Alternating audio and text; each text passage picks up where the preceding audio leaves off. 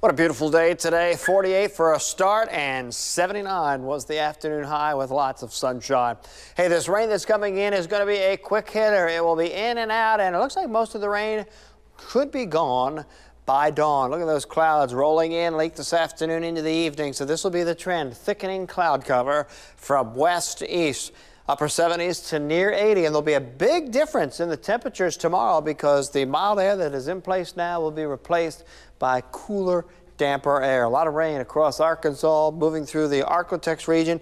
Severe weather not expected with this uh, system coming through, but we could see between a quarter to a half inch of rain. It is a fast mover. Today, temperatures in the 50s in Dallas behind the front. I don't think we'll be that cool, but we will not be up near 80 degrees on Thursday or Friday. Slightly cooler temperatures, but we'll warm back up for the weekend. By midnight, you can see the rain overspreading the northern parts of the state. While you sleep, a little round of rain moves through.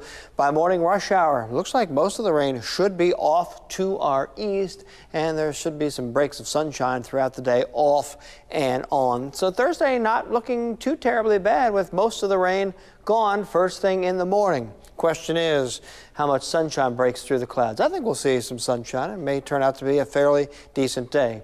Friday, a fast moving front brings a couple showers before we clear out for the weekend.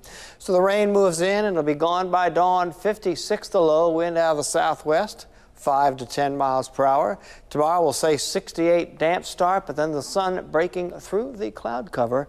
Breezy northwest wind 10 to 15. Tomorrow night, as the clouds break up, there's going to be the chance of some patchy fog, 52. Seven-day forecast. Looks like a terrific stretch of weather arrives for the weekend and lingering into early parts of next week.